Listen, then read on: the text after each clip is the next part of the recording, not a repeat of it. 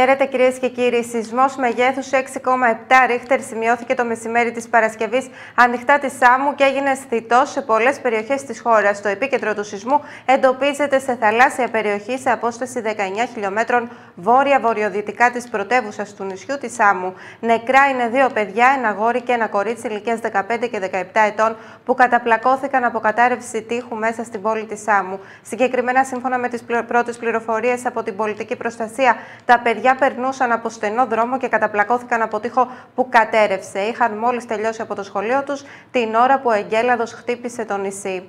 Αμέσως μετά το σεισμό, το 112 έστειλε επίγον μήνυμα στους κατοίκους, καθώς καταγράφηκε τσουνάμι στα παράλια της Άμμου και της Τουρκίας. Οι σεισμογράφοι κατέγραψαν στις 14 και 4 πρώτα λεπτά νέα δόνηση έντασης 4,6 βαθμών της κλίμακας Ρίχτερ με εστιακό βάθος 10 χιλιόμετρων και επίκεντρο 15 χιλιόμετρα νότια-ανατολικά της Ικαρίας, ενώ ακολούθησαν και άλλες μεταξύ 3 και 4 ρίχτερ.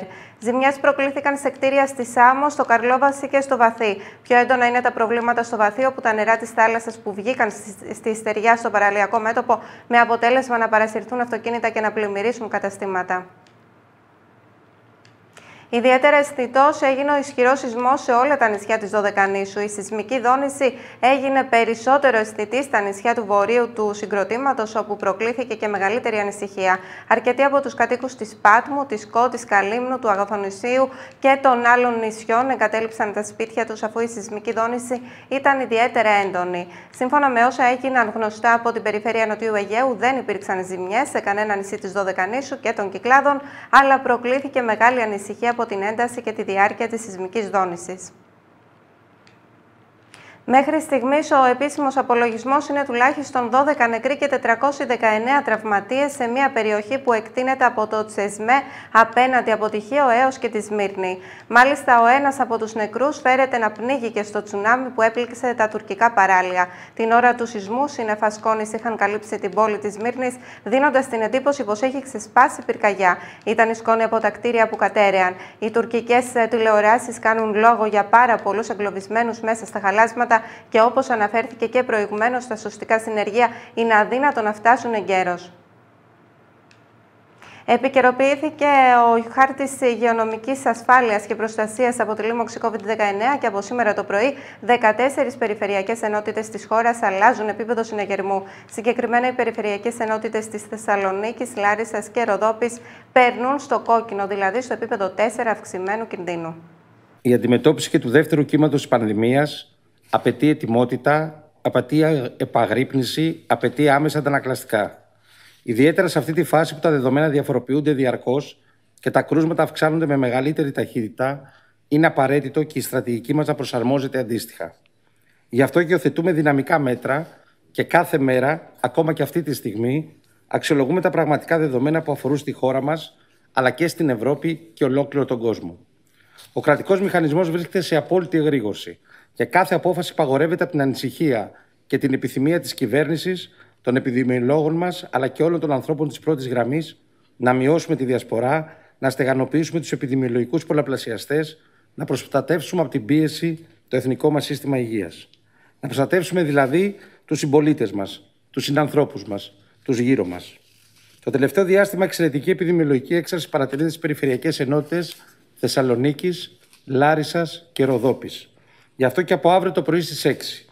Οι περιοχές αυτές ανεβαίνουν επίπεδο συναγερμού και περνούν στο επίπεδο κόκκινο, επίπεδο 4 αυξημένου συναγερμού. Έτσι, από αύριο το πρωί και στις περιοχές αυτές θα ισχύσουν τα μέτρα που προβλέπονται για το επίπεδο αυξημένου κινδύνου, με μοναδική εξαίρεση το ζήτημα των χερσαίων, θαλασσίων και αεροπορικών συνδέσεων, αλλά και μετακινήσεων από και προς τις περιοχές αυτές. Για πρακτικούς λόγους που σχετίζονται με τον προγραμματισμό των πολιτών, η εξαίρεση των μετακινήσεων από τα γενικά μέτρα του επίπεδου 4 για τις τρεις αυτές περιοχές θα ισχύσει ως και στη Δευτέρα στις 6 το πρωί.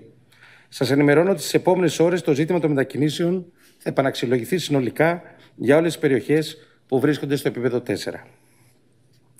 Η απόφαση να ανέβουν επίπεδο συναγερμού η Θεσσαλονίκη, η Λάρισα και η Ροδόπη βασίζεται στα δεδομένα, στις μετρήσεις και τα κριτήρια που αφορούν στην αξιολόγηση της κατάστασης των τελευταίων ημερών τα οποία επιβάλλουν να τεθούν οι περιοχές αυτές στο κόκκινο επίπεδο αυξημένου συναγερμού. Αξίζει να σημειωθεί ότι στην Περιφερειακή Ενότητα Θεσσαλονίκης Υπάρχουν αυτή τη στιγμή 1.955 κρούσματα και 4.399 στενές επαφές που βρίσκονται σε κατοίκον απομόνωση. Ενώ ο μέσος όρος ηλικίας των κρουσμάτων έχει ανέβει τις τελευταίες ημέρες σε 35,2 έτη. Την ίδια στιγμή στη Λάρισα έχουμε αυτή τη στιγμή 343 ενεργά κρούσματα, με μέση ηλικία τα 37 έτη και από την ιχνηλά της έχουν προκύψει 721 στενές επαφές. Τέλος, στη Ροδόπη έχουμε 217 ενεργά κρούσματα, με μέσο όρο ηλικίας στα 30 έτη, ενώ οι στενές επαφές των κρουσμάτων που έχουν προκύψει από τη διαδικασία της εχνηλάτησης είναι 488.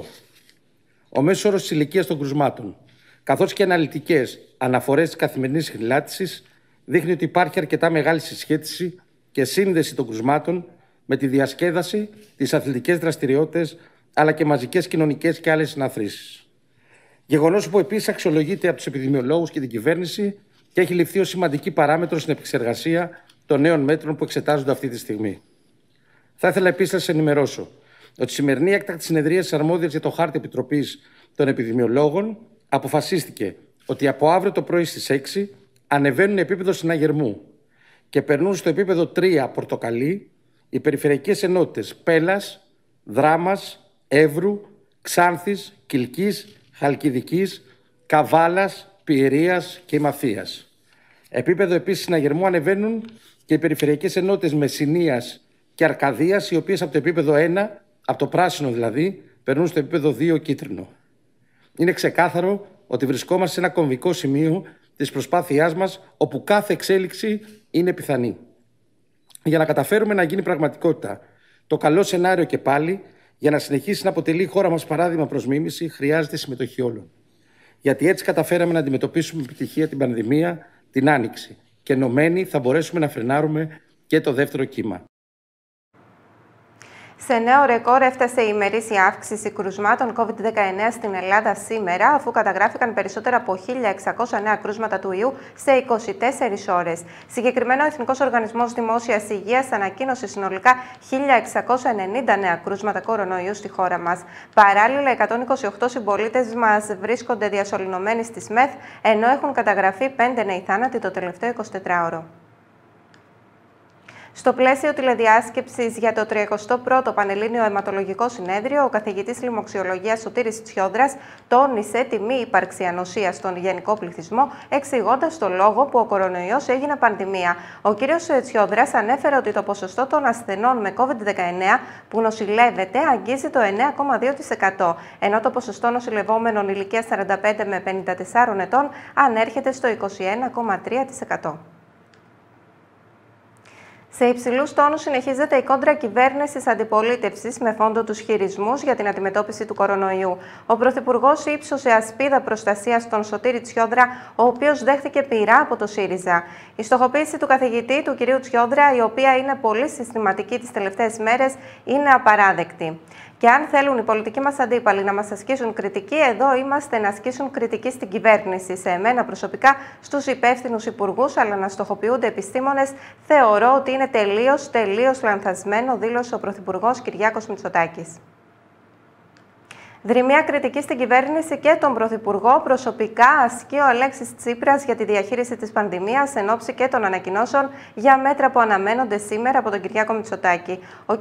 Τσίπρας αναφέρει πως το δεύτερο κύμα της πανδημίας βρίσκει τη χώρα ανοχήρωτη και το ΕΣΥΑ προετοίμαστο με αποκλειστική ευθύνη της κυβέρνησης του κ. Μητσοτάκη που άφησε να περάσουν 8 μήνες αυτοθαυμαζόμενος. Το δεύτερο κύμα της πανδημίας ήταν αναμενόμενο. Αυτό που δεν ήταν αναμενόμενο είναι ότι θα μας έβρισκε σε αυτή την κατάσταση. Ο κ. Μητσοτάκης σήμερα ετοιμάζεται με μεγάλη καθυστέρηση να ανακοινώσει ένα σχέδιο ενός μηνός. Φοβάμαι ότι πριν περάσουν λίγες μέρες θα χρειαστεί να το αναθεωρήσει.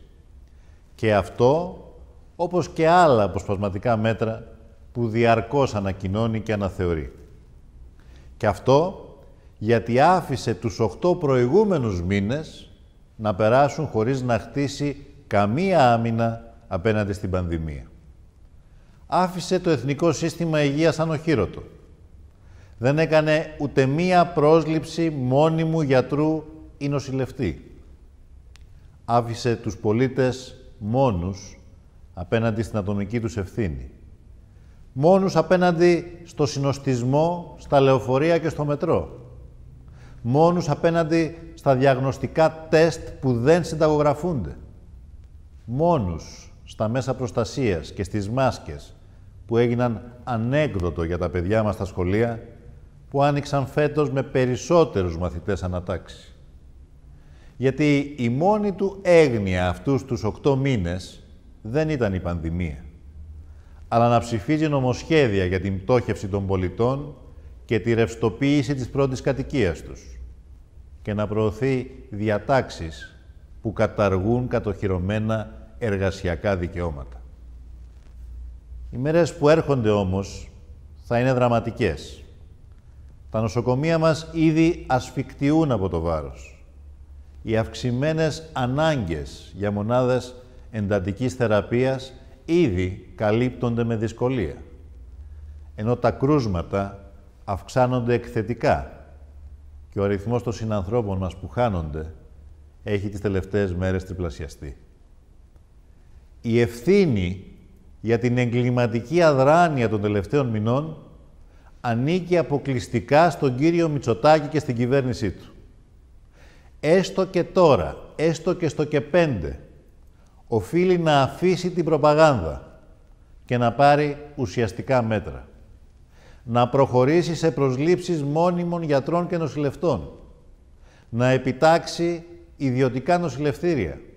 Να προχωρήσει σε μαζική συνταγογράφηση των διαγνωστικών τεστ, να εντάξει άμεσα στα δρομολόγια τα 270 λεωφορεία και τρόλεϊ που είναι παρκαρισμένα στα αμαξοστάσια και να λάβει ουσιαστικά μέτρα οικονομικής στήριξης των πληττόμενων επιχειρήσεων, αντί να κοκορεύεται χωρίς ντροπή ότι είναι δικό του το μαξιλάρι.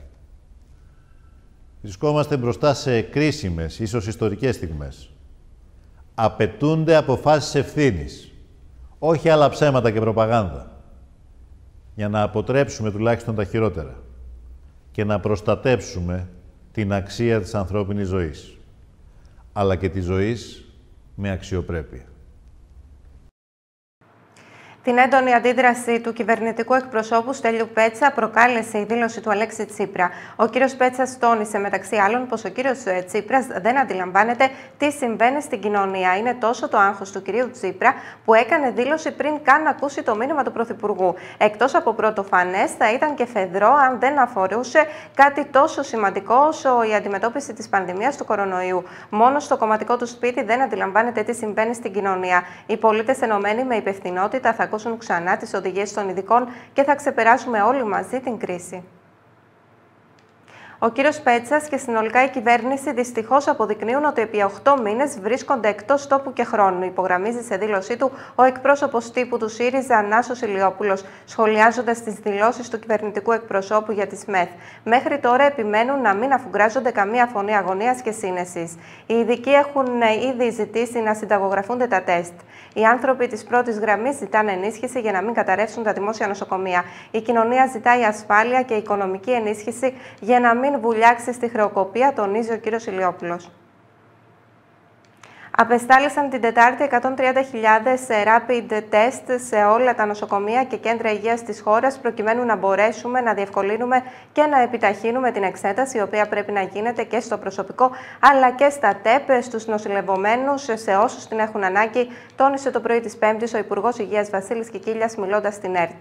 Ερωτηθείς για το πόσο θα αντέξει το ΕΣΥΑ τόνισε πως αυτό είναι η συνολική συνισταμένη της προσπάθειας πολιτών, επιστημόνων, ειδικών, της οργανωμένης πολιτικής και της κυβέρνησης. Ακολουθώντας τις τελευταίες μέρες τον τρόπο με τον οποίο εξελίσσεται η πανδημία στη χώρα, θέλω να πω ότι μόνιμα η πολιτεία προσπαθεί και παίρνει και οι επιστήμονές μας τα ενδείγμενα μέτρα. Δηλαδή, παρακολουθώντας καθημερινά τον τρόπο με τον οποίο επεκτείνεται η νόσος και τις πιέσεις επιμέρους σε συγκεκριμένες περιοχές της Ελλάδας, στην Ευώρια Ελλάδα, την Νότια Ελλάδα, είναι επιμέρους νομοί, οι πόλεις, οι μεγαλύτερες γεωγραφικές οντότητες. Προσπαθούμε ε, εγκαίρως να παίρνουμε τα κατάλληλα μέτρα. Όμως πρέπει να τονίσω ότι η επιπολιότητα κάποιων λίγων βάζει σε κίνδυνο πλέον ε, την υγεία ε, και την υπόσταση των, των πολλών. Η λίγη επιπολιότητά τους βάζει σε κίνδυνο τους πολλούς. Γιατί, γιατί κοιτάξτε, είναι εμφανές πλέον ότι δεν πρόκειται μόνο για το Εθνικό Σύστημα Υγείας. Ακούμε πολύ μεγάλη προσοχή το κομμάτι της περίθαλψης και βλέπετε ότι εμείς μόνιμα ανοίγουμε και άλλα κρεβάτια μεθ, μετατρέπουμε κλίνες μεθ σε COVID, συνεργαζόμαστε και με το ιδιωτικό τομέα, παίρνει περιστατικά, εγκαινιάζουμε νέες μεθ, προσλαμβάνουμε νέο προσωπικό. Αλλά προσέξτε, ε, πλέον είναι ένα θέμα δημόσιας υγείας. Δηλαδή δεν είναι μόνο πώς θα αντέξει το εθνικό σύστημα υγείας, είναι ότι δεν πρέπει να νοσούν και, και οι πολίτες, έτσι. Δεν πρέπει να αρρωσταίνουν. Δηλαδή πρέπει να προστατευτούμε όλοι. Πρέπει να καταλάβουμε ότι είναι ένα σημαντικό θέμα δημόσιας υγείας. Δίνοντας το ένασμα, αν θέλετε, για αυτό το χρόνο που μας έχετε μπροστά μας, ότι δεν θα είναι για πάντα αυτή η ιστορία. Να, σας είπα ότι στο τέλος αυτής της χρονιάς, στις αρχές της άλλης, υπάρχουν ισχυρές ενδείξεις πλέον για τη δυνατότητα να έχουμε και ένα και δύο εμβόλια.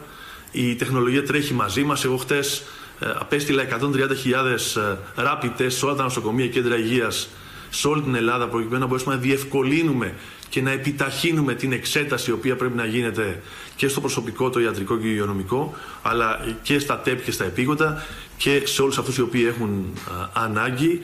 Θα τα καταφέρουμε και θα περπατήσουμε βήμα-βήμα μαζί όλη η ελληνική κοινωνία σε αυτή την πολύ δύσκολη προσπάθεια την οποία έχουμε μπροστά μας, αν τηρούμε τις οδηγίες των ειδικών, εάν πιστά φοράμε τη, μάρκα, τη μάσκα μας, εάν τηρούμε τους κανόνες υγιεινής ε, των χεριών μας, κρατάμε τις κοινωνικές αποστάσεις, είναι ε, η αγάπη για τον διπλανό μας, είναι η αίσθηση ότι πρέπει να τον προστατεύσουμε που θα μας οθήσει αυτούς τους επόμενους μήνες να μπορέσουμε να περάσουμε από αυτή την πολύ δύσκολη κατάσταση η οποία ταλανίζει όλο τον πλανήτη.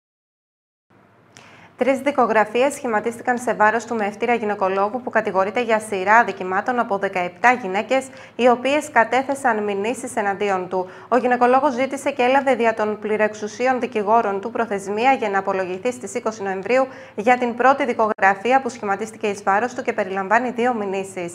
Μία δεύτερη δικογραφία με 11 μηνύσεις και μία ακόμη με 4 εκκρεμούν ενώπιον του πτεσματοδίκη Ρόδου. Οι εκτιμήσεις από νομικούς κύκλους αναφέρουν ότι η υπόθεση θα είναι δύσκολη και θα έχει μακρά πορεία. Σύμφωνα με δημοσιεύματα, οι δικηγόροι του γυναικολόγου τονίζουν ότι η εντολέας τους βρίσκεται σε κατάσταση σοκ, ενώ δεν γνωρίζει ποιες είναι οι γυναίκες που τον καταμήνυσαν.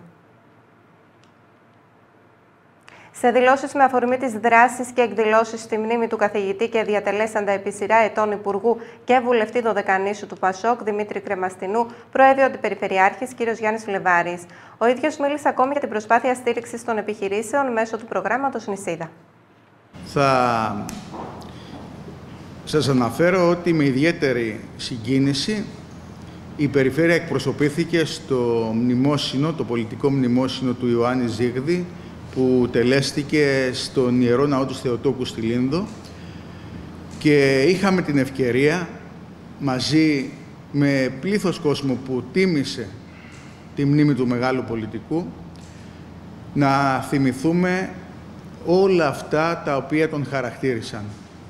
Στην Ελλάδα δεν έλειψε η παλικαριά, τα χρήματα ή τα μέσα. Είχε πει ο Ιωάννης Ζήγδης αναζητώντας το δικό του δέον. Το ζητούμενο για αυτόν, που ήταν το ήθος. Το ήθος το οποίο πρέπει να υπάρχει στην πολιτική και το οποίο υπηρέτησε με πίστη και με συνέπεια. Η παρθενική του ομιλία στο Ελληνικό Κοινοβούλιο, όπου επανειλημμένα εκπροσώπησε τη Δωδεκάνησο, έχοντας την ευκαιρία να έχει κυβερνητικές θητείες και να παράξει μεγάλο έργο σε κρίσιμους τομείς της οικονομίας, οικονομολόγος ο ίδιος, της βιομηχανίας και της ανάπτυξης. Με τις λέξεις «Ας πιστέψουμε και ας ξεκινήσουμε με τη συμφιλίωση των Ελλήνων», ξεκίνησε τον ε, κοινοβουλευτικό του ρόλο, τις ομιλίες του μέσα στη Βουλή. Ήταν το 1913, όταν γεννήθηκε σε ένα μετέχμιο της ιστορίας, όταν ε, υπό τη σκιά της Ακρόπολης, του Ιερού Βράχου, της Λινδίας Αθηνάς, της Ακρόπολης της Λίνδου, το αγόρι αυτό έμελε να σημαδέψει την ε, πολιτική ζωή του τόπου μας στον 20ο αιώνα και όχι μόνο της Δωδεκανήσου, αλλά και γενικότερα υπηρετώντας τον πολιτικό χώρο του κέντρου στον οποίο ανήκε και με συνέπεια υπηρέτησε σε όλη του τη διαδρομή έχοντας την τιμή να αναλάβει και την ηγεσία του χώρου μέσω του πολιτικού σχήματος της ΕΔΙΚ.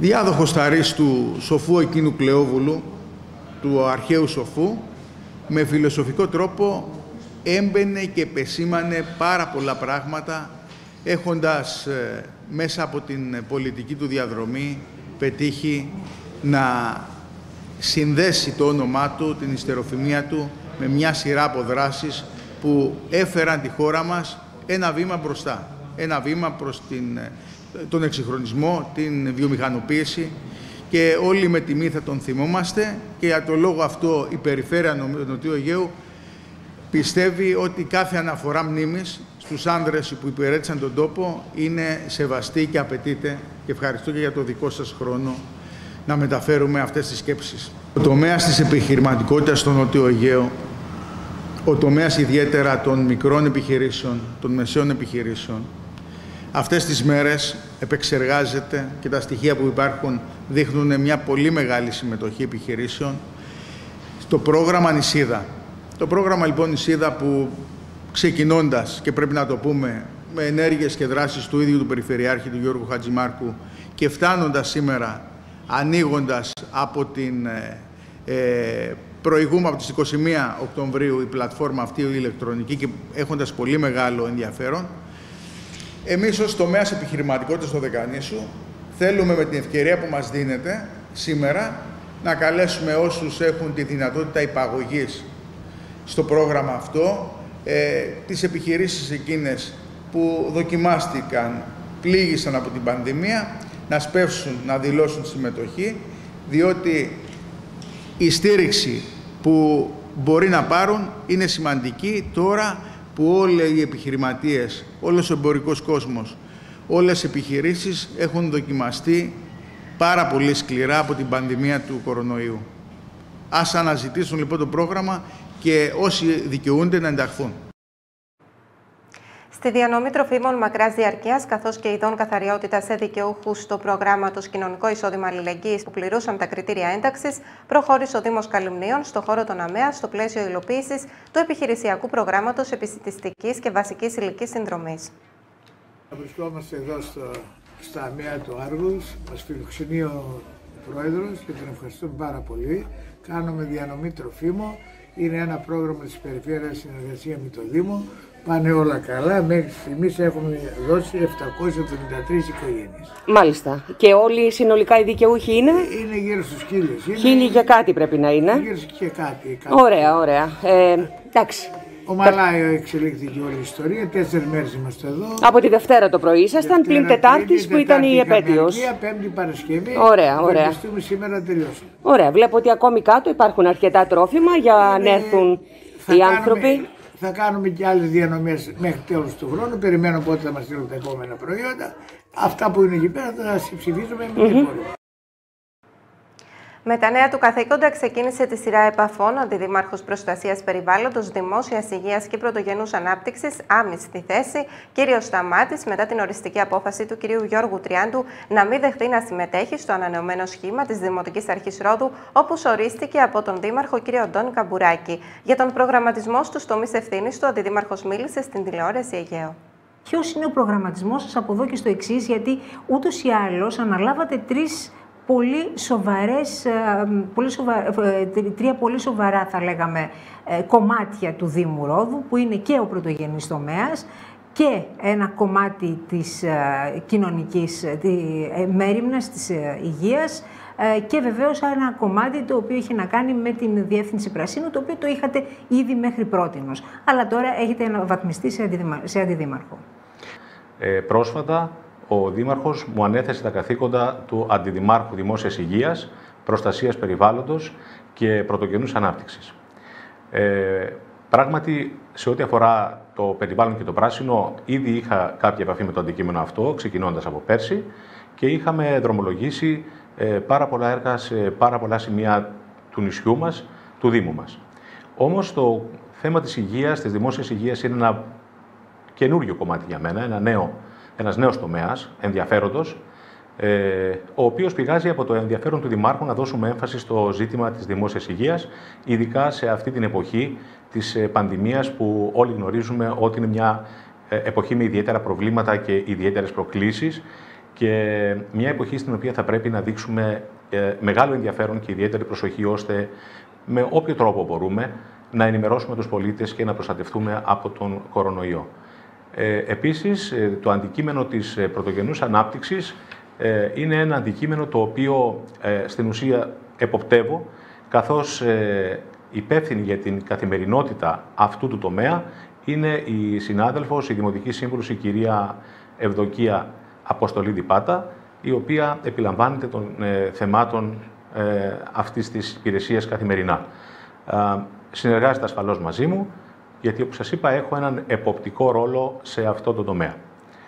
Τώρα, βέβαια, πρέπει να πούμε ότι στην αρχή είχατε αρνηθεί ε, αυτή ε, την θέση. Αυτά δηλαδή τα νέα καθήκοντα που σας είχε αναθέσει ο κύριος ε, Καμπουράκης στην αρχή. Από εκεί και πέρα όμως τι έγινε και τελικά αποφασίσατε να αναλάβετε γιατί είναι και τρία διαφορετικά πράγματα μεταξύ τους, έτσι. Ναι, κυρία Δόγκου, κοιτάξτε. Ε, αρχικά η απόφαση ε, όριζε, με όριζε ως υπεύθυνος στο περιβάλλον και στο πράσινο και στο πρωτογενή τομέα. Πλην όμως, ε, όπως σας εξήγησα πριν, ο πρωτογενής τομέας ουσιαστικά τώρα ανατέθηκε στην ε, συνάδελφο, στην κυρία Αποστολίδη. Και αυτό είναι ένα γεγονός το οποίο εμένα με απαλλάσσει από μεγάλο φόρτο εργασίας, καθημερινής εργασίας, δεδομένου ότι έχω πολλές υποχρεώσεις και στα ακαδημαϊκά μου καθήκοντα. Ε, το ζήτημα της ε, δημόσιας ε, υγείας, το, οποίο μου έχει, το θέμα που έχει, μου έχει ανατεθεί, έχει ένα, αυτή τη στιγμή τουλάχιστον, ένα μικρό κύκλο εργασιών που μου επιτρέπει, μου επιτρέπει να οργανώνομαι και να επιλαμβάνομαι αυτών των ζητημάτων. Όπως και ο εποπτικός ρόλος που έχω στον ε, τομέα πρωτογενούς ανάπτυξης. Ε, έτσι λοιπόν, ενώ στην ε, πραγματικότητα αρχικά, όπως είχε ε, εκδοθεί η απόφαση, περιλάμβανε ένα μεγάλο, ένα ευρύ αντικείμενο, το οποίο ε, απαιτούσε πάρα πολύ χρόνο από την καθημερινότητά μου, ο οποίος ούτως ή άλλως είναι περιορισμένος, Τώρα με τη νέα διευθέτηση αυτή που έγινε έπειτα από διεξοδική συζήτηση που είχαμε με τον Δήμαρχο και τον ευχαριστώ για την κατανόηση που έδειξε στο ζήτημα που του ανέφερα, ε, έχω πλέον αυτά τα καθήκοντα τα οποία μου επιτρέπει ο χρόνος μου, ο ελεύθερος χρόνος μου, να μπορέσω να ασχοληθώ πιο συστηματικά και πιο αποτελεσματικά. Το πρόβλημά μου εξ αρχής ήταν μάλλον ένας φόβος που είχα, ένας προβληματισμός που είχα, ήταν ότι αν αναλάμβανα καθήκοντα τα οποία δεν θα είχα το χρόνο να τα εκπληρώσω όπως έπρεπε, θα αισθανόμουν ένα τεράστιο άγχος και ε, γενικότερα είμαι ένας άνθρωπος που δεν θέλω να αναλαμβάνω ε, φόρτο εργασίας όταν γνωρίζω εκ των προτέρων ότι θα μου είναι δύσκολο να το φέρω σε πέρας. Τώρα όμως με τις νέες ρυθμίσεις αυτό έχει διευθετηθεί και έτσι νομίζω ότι θα καταφέρουμε αρκετά πράγματα γιατί βέβαια όπως είπατε οι τομείς αυτοί έχουν ένα μεγάλο αντικείμενο και απαιτούν συνεργασίες. Εγώ είμαι ανοιχτός σε συνεργασίες και πάντα προσπαθώ να αναπτύξω συνεργασίες. Οπότε πιστεύω ότι με τη βοήθεια και τη συνδρομή όλων θα έχουμε καλύτερα αποτελέσματα. Ολοκληρώθηκε το πρώτο Διεθνές Φεστιβάλ Ρόδου με τη συμμετοχή πολλών θεατρικών ομάδων από όλο τον κόσμο. Η καλλιτεχνική διευθύντρια του φεστιβάλ και θεατρολόγος, κυρία Βίκη Θεολόγη, μίλησε στη τηλεόραση Αιγαίο για τις δυσκολίες που υπήρχαν αλλά και για την προοπτική να γίνει θεσμός στη Ρόδο. Θα ήθελα να μας πείτε, να μας κάνετε μια αποτίμηση για το φεστιβάλ Ρόδου. Ήταν το πρώτο φεστιβάλ Ρόδου και βεβαίως ε, ήταν μια δύσκολη προσπάθεια, μια δύσκολη διαδικασία, μια δύσκολη διαδρομή θα έλεγα όλο αυτό το διάστημα. Έπεσε και ε, η πανδημία του κορονοϊού. Τελικά τι έγινε, πήγαν όλα καλά; Καλησπέρα σας. Ε, δόξα τω Θεώ, όλα καλά πήγανε, ακριβώς όμως όπως είπατε, μέσα σε αντίξωες συνθήκες, μέσα σε μη προβλεπόμενες καταστάσεις, ε, πέρα από τον περιορισμό του κορονοϊού και όλα τα μέτρα που υπήρχαν, ε, είχαμε διανύσει και ένα αρκετά μεγάλο διάστημα από πριν, αναρωτώμενοι οι συνδιοργανωτές αν ε, θα έπρεπε τελικά να προχωρήσουμε στην έκβαση του φεστιβάλ, ε, γιατί τα πράγματα άλλαζαν κάθε μέρα. Ε, από ένα σημείο και μετά ήταν μονόδρομος. Το φεστιβάλ θα γινόταν. Θα γινόταν όμως γιατί, γιατί ήταν και η θέση του Αντιδημάρχου Πολιτισμού και Προέδρου του ΔΟΠΑΡ, κ. Κολιάδη, ε, τόσο όμως και της Οργανωτικής Επιτροπής ε, από τον Θεατρικό Σύλλογο Δωδεκανήσου, να το παλέψουμε, να μην κάνουμε πίσω, γιατί δεν αισθανθήκαμε ότι η κοινωνία χρειαζόταν μια τόνωση και θέλαμε να υπερασπιστούμε το ότι αυτή η τόνωση, αυτή η εμψύχωση μπορεί να έρθει μέσα από την τέχνη, από μια τέχνη προσβάσιμη για όλους ε, και σε όλους. Οπότε και έτσι και προχωρήσαμε. Κατά τη διάρκεια του φεστιβάλ είχαμε και πάρα, πολλά, πάρα πολλές ανατροπές, διότι Τύχαμε και στην ε, πανελλαδική απεργία, τύχαμε και σε στάση απεργίας. Έτυχε να αλλάξουμε το πρόγραμμα αρκετές φορές τόσο που ε, θεωρούμε ότι ίσως ε, στεναχωρήσαμε, λίγο τον κόσμο εκεί πέρα στην, ε, σε κάποιες αλλαγές που έπρεπε να γίνουν στο πρόγραμμα προκειμένου να συμβαδίσουν όλα αυτά τα πρακτικά προβλήματα που συνέβαιναν και άλλαζαν κάθε στιγμή με την έκβαση του φεστιβάλ. Παρ' όλα αυτά όμως το φεστιβάλ έφτασε στην λήξη του. Θεωρούμε ότι ήταν πέντε μέρες γεμάτες θέατρο. Ο κόσμος το απόλαυσε, το παρακολούθησε. Μας εντυπωσίασε το ότι υπήρχαν ε, θεατές που ακολουθούσαν κάθε παράσταση και μιλάμε για μια διοργάνωση που κάθε μέρα οι παραστάσεις μπορεί να ήταν τρεις ή τέσσερις ακόμα. Και υπήρχε κόσμος που το ακολουθούσε, ερχόταν μαζί μας στους χώρους. Παίξαμε στο Μουσικό Σχολείο Ρόδου, στο Δημοτικό Θέατρο Ρόδου, στην ε, Ντάφρο. Ε, αυτό λοιπόν ήταν ε, ένα, ένα ευτυχές ε, γεγονός που, που είδαμε. Ε, σε ό,τι αφορά την, τον καλλιτεχνικό απολογισμό, αν μπορούμε να πούμε ότι μία εβδομάδα μετά τη λήξη μπορούμε να προχωρήσουμε σε έναν απολογισμό καλλιτεχνικό, ε, θεωρούμε ότι ακουμπήσαμε ένα πεδίο, θεατρικό πεδίο στη Ρόδο, όπου να επισημάνω ότι το νησί και οι θεατές ε, της Ρόδου έχουν εμπειρία από διεθνή φεστιβάλ και αυτό το αποδείξανε. Είναι καλοί γνώστες της ε, διεθνούς ε, τέχνης και της διεθνούς πολιτιστικής κληρονομιάς οι Ροδίτες. Και γι' αυτό και τίμησαν και το φεστιβάλ. Ένα φεστιβάλ που το θεατρικό φεστιβάλ έχει κάποιες ιδιαιτερότητες. Από αυτές τις ιδιαιτερότητες σαφώς είναι και η γλώσσα ε, κάποια θέματα τα οποία έχουμε κληθεί εδώ και μήνες να λύσουμε και νομίζουμε ότι με επιτυχία οι θεατές παρακολούθησαν τις ξενόγλωσσες θεατρικές παραστάσεις σε υπέρτιτλους. Σε υπέρτιτλους οι οποίοι ήταν και στα ελληνικά αλλά και στα αγγλικά. Αυτό λοιπόν έκανε την ε, παράσταση των ε, θεατρικών ε, έργων πολύ εύκολη για τους θεατές. Ε, δοκιμάσαμε κάποια συστήματα τα οποία θέλαμε να προσελκύσουμε θεατές ε, στο, στη θεατρική εμπειρία που ίσως περιορίζονται από τον τρόπο επικοινωνίας, τον ε, συνήθι τρόπο επικοινωνίας. Γι' αυτό και οι υπέρτιτλοι εξυπηρέτησαν και την θέση από άτομα με προβλήματα μερικής ή ολικής ε, κόφωσης. Αντίστροφη μέτρηση για την 11η Πανσέλινο του 2020 στις 31 Οκτωβρίου έρχεται η Μπλε Σελήνη. Η προηγούμενη από τις δύο Πανσέλινους του Οκτωβρίου ήταν Πανσέλινος της Οδιάς. Το όνομα αυτό δίνεται στην πρώτη Πανσέλινο που είναι κοντά στη φθινοπορεινή ησημερία. Σε αντίθεση με άλλα φεγγάρια, το συγκεκριμένο δεν αντιστοιχεί σε συγκεκριμένο μήνα. Συνήθως εμφανίζεται το Σεπτέμβριο, αλλά φέτος έκανε την εμφάνισή του τον Οκτώβριο. Κυρίες και κύριοι, εδώ ολοκληρώθηκε το κεντρικό δελτίο ειδήσεων του Αιγαίου TV. Επόμενη σύντομη ενημέρωσή σας απόψε στις 12. Από όλους εμάς, καλό σας βράδυ.